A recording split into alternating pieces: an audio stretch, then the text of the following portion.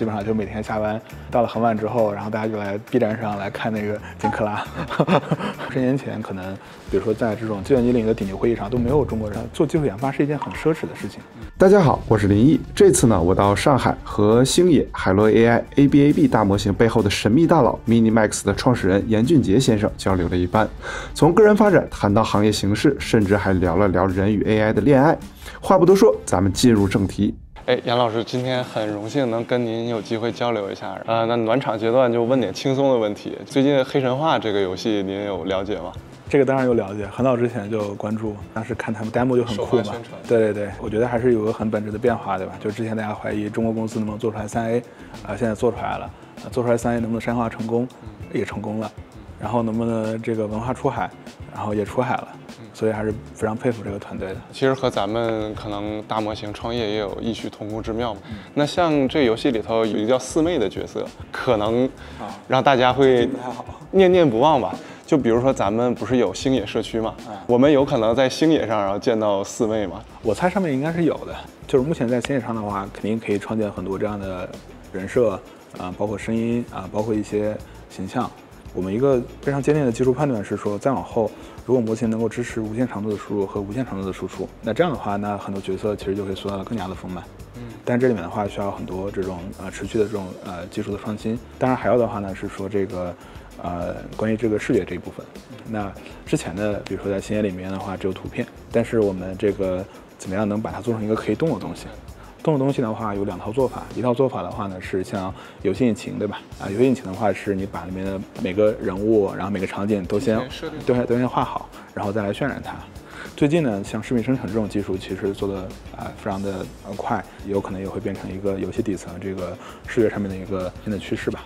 总的来说的话呢，我觉得现在可以做，但是我觉得可能现在只能做到六十分。那随着模型的这个无限长度的输入和输出，随着模型的这个呃，基础能力变得更好啊，我觉得这个事儿肯定是能做得越来越深的。对，您您会去呃用 AI 角色来寄托您的情感，或者说您怎么看就是和 AI 谈恋爱这个问题？呃，我觉得其实对我们来说的话，像写的话，它是一个类似小说的这种体验。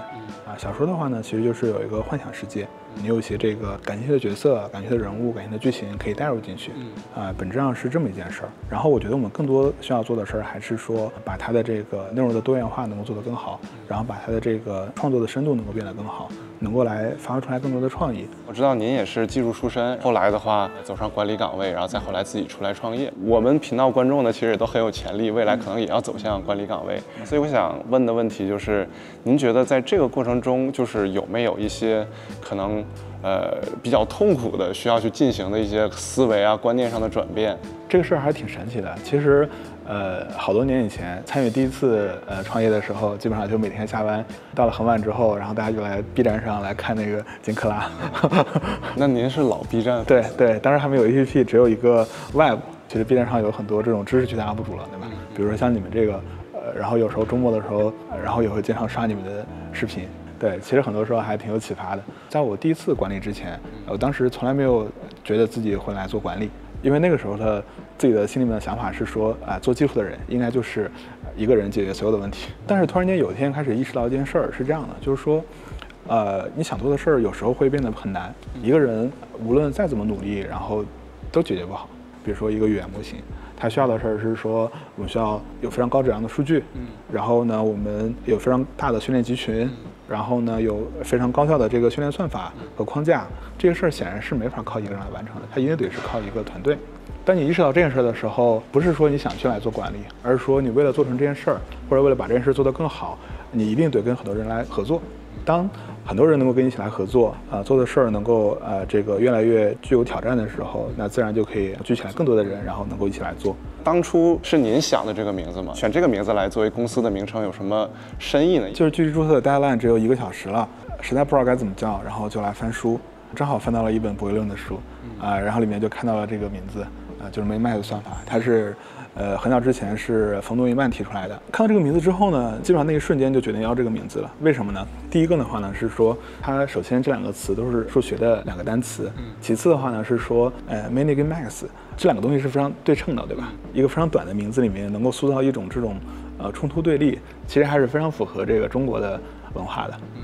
那这个东西呢，它相当于既数学，然后又大众，表示了一个普通人和技术的这样一个结合。对，所以说我们其实就当时就定了这么一个名字，一直延续到现在。您想要看到您团队带来的技术提升是主要是哪些？通人工智能虽然说这个梦想很美好，但是它太难了，需要的呃其实不是一些百分之五甚至百分之十的提升，它真正需要的是这种呃数量级的提升。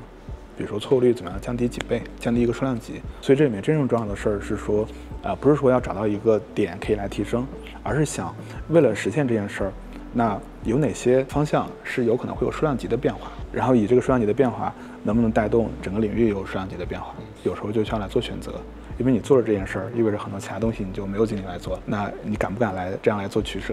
做技术研发是一件很奢侈的事情，因为它需要很多很好的人才，需要很好的组织。需要一个持续创新的环境啊，并且这些创新还需要能够有正反馈，然后才能持续下去。如果稍微拉长周期来看的话，我觉得整个中国的进步速度还是非常快的。那十年或者二十年之后，呃，我们觉得会不会有中国的 Google 呢？会不会有中国的 SpaceX 呢？会不会有呃中国的 Open 呢？啊，我觉得一定会出来的。那您觉得在这样一个趋势下，就是人越来越多的把呃很多事情交给 AI 来做的话，以后会不会出现就是过度依赖 AI，然后导致人丧失一定？能力的这种情况，我觉得这里面的话可能会有一些很有意思的事儿，比如说在一百年前，至少看很多小说跟电影的时候是这样的，去私塾里面其实是需要学算盘的，那在当时认为这是基础的东西，必须得得会的东西，啊，但是现在可能没有人认为会学算盘是一个必须的东西，对吧？随着这个时代的发展，技术的发展，很多东西它会发生变化，那这个事儿 AI 是不是这个基础能力呢？我猜这个东西它没法靠一家公司来回答。我觉得它就是不管你赞同它还是不赞同它，那这个东西它就是一个技术发展的一个必然的一个趋势。至少有一点是确定的，比如说用的好的人跟不用的人，那。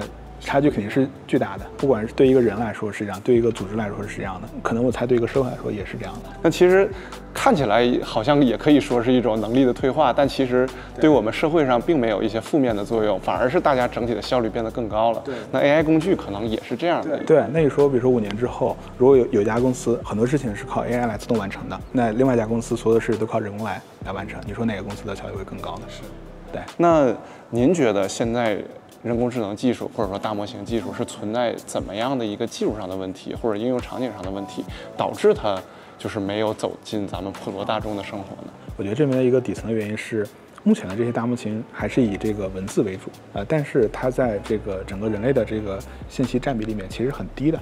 比如举例子，就比如说在 B 站上，大部分时候其实还是视频、呃图文啊或者声音啊，其实文字的信息占比是比较低的。那现在大模型又恰好。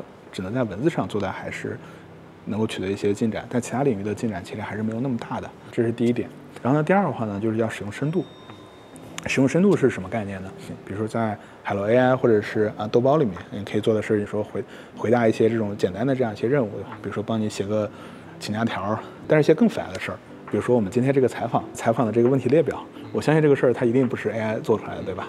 这样一件事儿其实是要分很多步来做的。那那问题的话呢，是说现在的这个模型错误率太高了。比如说每一步假设有百分之八十的这个完成的概率，但是五步连在一起，这个错误率就非常的高了。所以说这个东西其实导致 AI 的话呢，它可以做一些简单的单步的任务现在，但是呢，比如说这种需要依赖度完成的事儿，现在完成的不好。所以说那看起来它的深度是不太够的。那怎么样能够来实现这一点呢？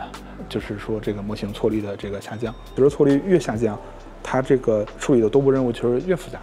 那这样的话，它其实就可以呃越来越多的做一些更加深度的事儿。那就也期待在下一代模型上看到这些问题得到解决。